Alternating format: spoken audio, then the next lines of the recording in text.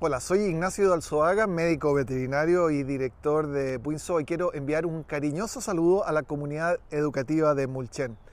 A su sostenedor, el señor alcalde Jorge Rivas Figueroa, al director de educación, a los directores de los diferentes establecimientos, a los asistentes de educación, por supuesto a nuestros queridos docentes y a todos los alumnos y alumnas que sabemos que están expectantes esperando estos videos que hemos hecho con mucho cariño para todos ustedes.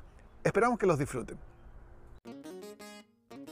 Estamos en la zona tropical americana, diría yo, de nuestra América Latina y el tapir es un animal emblemático de la fauna latinoamericana.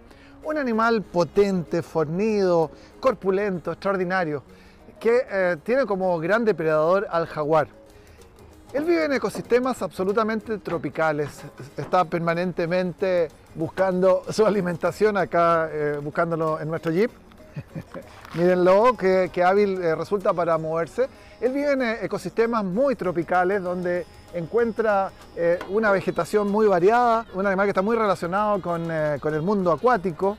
Sus ecosistemas tropicales le permiten tener una variedad de alimentos herbívoros como flores, frutas, eh, hojas, hojas acuáticas que, recoge junto a los cursos de agua, eh, haciendo de esto eh, los ecosistemas muy importantes para su vida.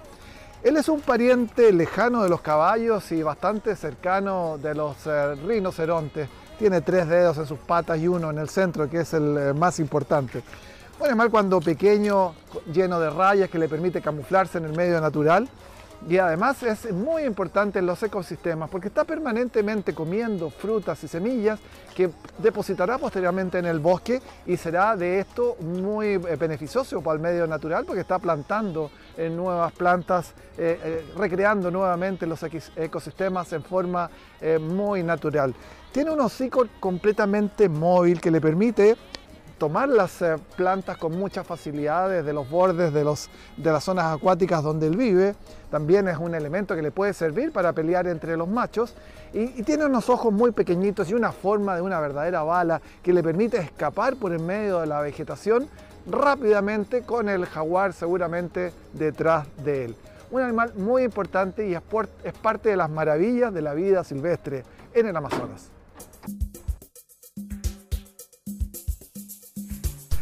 Seguimos con las maravillas de la vida silvestre, ahora hablando de alimentación. Todos los seres tenemos distintos tipos de alimentación y va a depender mucho del cráneo, de la forma de nuestros dientes, para darnos cuenta qué es lo que nos sirve mejor para alimentarnos. En el caso de una serpiente que tiene unos pequeños dientecitos que no sirven para morder, sino que para atrapar su presa y así poder deglutirla entera, poder tragarla entera porque no la muerden. A diferencia del ser humano que tenemos unos eh, dientes que son bastante especiales, somos más bien omnívoros, comemos de todo. En cambio un roedor, a ver si me dan un ejemplo de un roedor. Ahí lo escuché, un ratón, efectivamente. También puede ser una ardilla, puede ser un conejo, son todos roedores. Y fíjense, tienen unos incisivos, son los dientes de adelante muy pinchudos porque tienen que agarrar su presa con esa forma. En cambio una vaca, una vaca es un herbívoro. Necesitará eh, tener eh, colmillos, por ejemplo? No, ¿verdad? No necesitamos colmillos para comer hierbas como lo hace un herbívoro y su dentición es diferente. Los carnívoros, en cambio, tienen unos dientes y unos colmillos y unos molares muy importantes.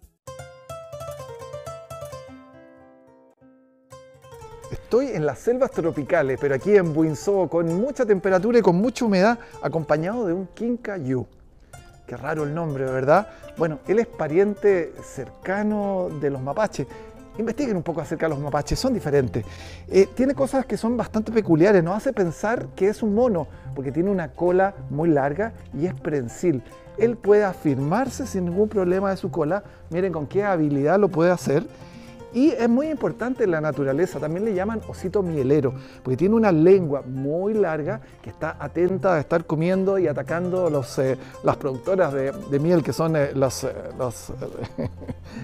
las abejas, que le producen mucha satisfacción ese tipo de alimentación, pero también come flores, brotes, muy lindo.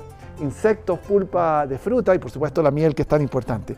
De una textura realmente suave. Él tiene una textura de una piel extremadamente suave, muy cortita porque vive en zonas tropicales, no puede tener un chaleco muy demasiado denso. Es un animal que desgraciadamente lo sacan mucho de la naturaleza como mascota, pero siendo un animal también carnívoro, eh, por excelencia carnívoro, eh, se puede transformar en un animal muy peligroso. Tiene una dentadura como carnívoro muy importante. Quizás lo más interesante, su cola, que le permite eh, asirse y hacer muy simple su vida colgándose de los árboles donde ellos viven en la naturaleza.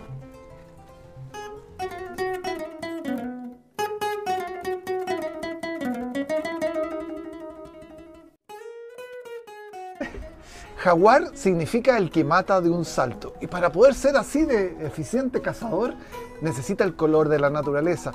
Esta capa amarilla con manchas negras, con rosetas negras y con pintitas es el mejor camuflaje que le entrega la naturaleza para poder pasar absolutamente desapercibido. Son los colores de la naturaleza en el jaguar.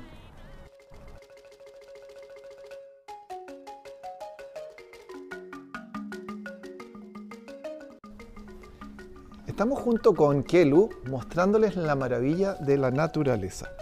La exuberancia de los colores, los verdes intensos del Amazonas son realmente maravillosos.